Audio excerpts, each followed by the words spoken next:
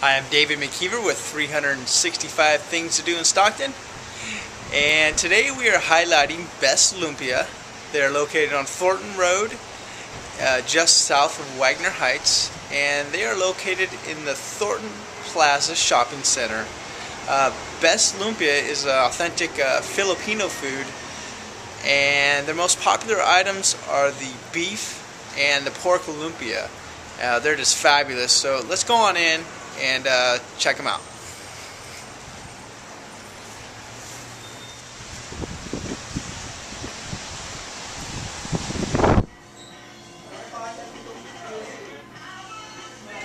Thank you.